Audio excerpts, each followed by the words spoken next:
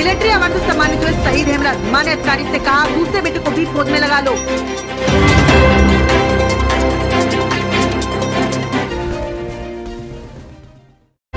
UP Jalaun राष्ट्रीय सड़क सुरक्षा अभियान का संपन्न समारोह संपन्न हुआ। जिलाधिकारी प्रियंका रंजन जी ने किया बच्चों को सम्मानित।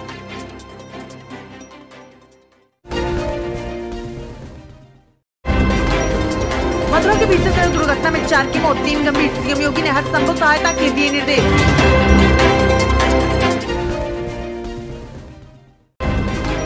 UP news live update, Kanpur में डबल मर्डर से हड़कंप चार आरोपी गिरफ़्तार।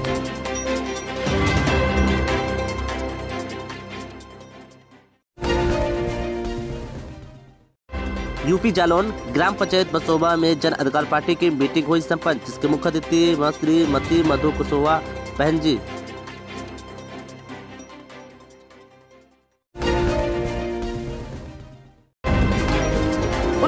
दलित लड़कियों की मौत को पुलिस ने एक तरफा प्रेम का केस बताया, दो लड़की गिरफ़्तार।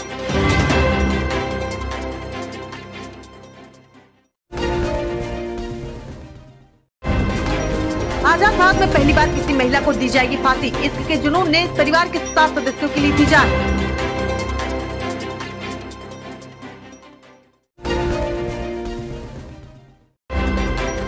हर हिंदुस्तानी को कोरोना का टीका देने की दहलीज पर भारत हर्षवर्धन।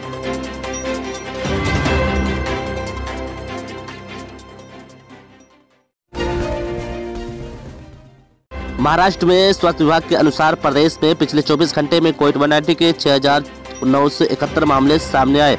चौबीस सौ सत्रह लोग डिस्चार्ज हुए, पैंतीस लोग की मृत्यु हुई। बिहार, एक ही परिवार के चार लोगों की संदेह दिन में मौत। जहरीली शराब पीने से एक घटना की आशंका।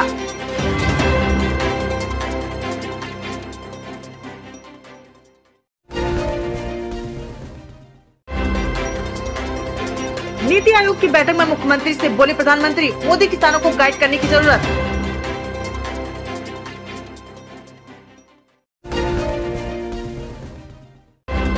मोदी जी और अमित शाह ने बना दिया है 2019 में आप 2021 में स्थापतकारी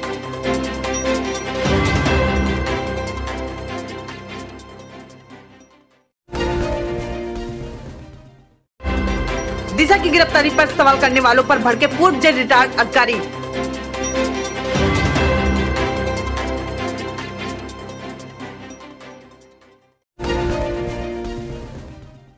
यूपी, लखनऊ विवी के सफ़ाई कर्मचारियों के सुपरवाइजर ने ईटा मारकर किया घायल। हजनगढ़ थाना प्रभारी को मीडिया द्वारा सूचना देने के बाद भी नहीं पहुँची पुलिस।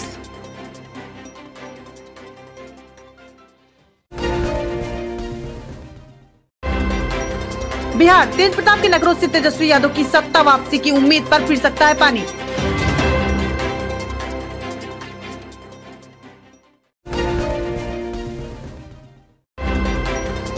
यूपी कासगंज में सिपाही हत्याकांड का मुख्य आरोपी मोती पुलिस एनकाउंटर में ढेर, एक लाख का था इनाम।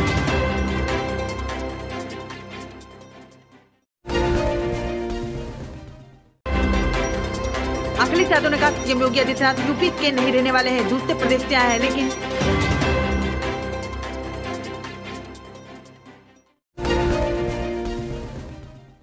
यूपी, लखनऊ विवी के सफ़ाई कर्मचारियों के सुपरवाइजर ने ईटा मारकर किया घायल। हजनगढ़ थाना प्रभारी को मीडिया द्वारा सूचना देने के बाद भी नहीं पहुँची पुलिस।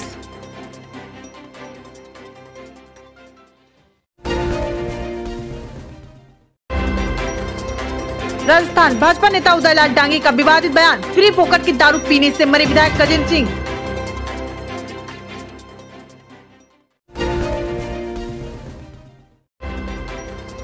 यूपी प्रतापगढ़ थाना क्षेत्र कोतवाली नगर सिरोज चौराहे के पास स्थित काशीराम कॉलोनी अंतर्गत हुए किशोर की हत्या से संबित अभियुक्त की गिरफ्तारी।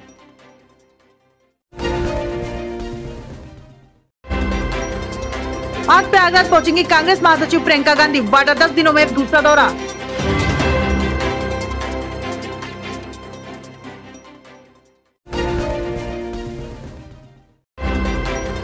मुजफ्फरनगर किसान पंचायत प्रियंका गांधी का निशाना, बोली हमारे प्रधानमंत्री भी अहंकारी राजा की तरह हो गए हैं।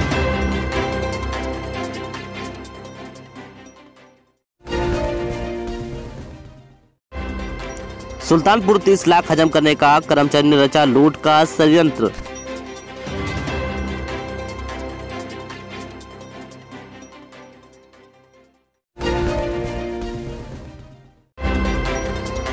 यूपी बच्चे की मौत से नाराज़ लोगों ने पुलिस वालों को खदेड़ा, फिर पुलिस ने भाजी लाठियाँ।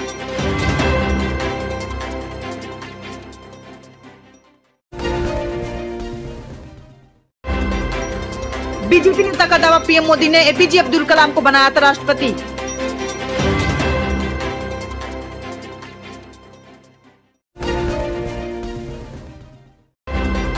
भारत में कोरोना का नया स्ट्रेन हो सकता है। ज़्यादा संक्रमक एम्स प्रमुख डॉक्टर ग्लेसियर ने जताई आशंका।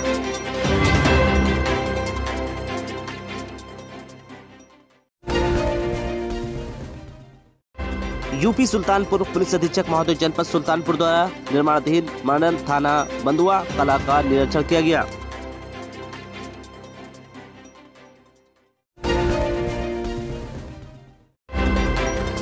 पाँच राज्यों में चुनाव से पहले बीजेपी की पदाधिकारियों की अहम बैठक आज पीएम मोदी देंगे जीत का मंत्र।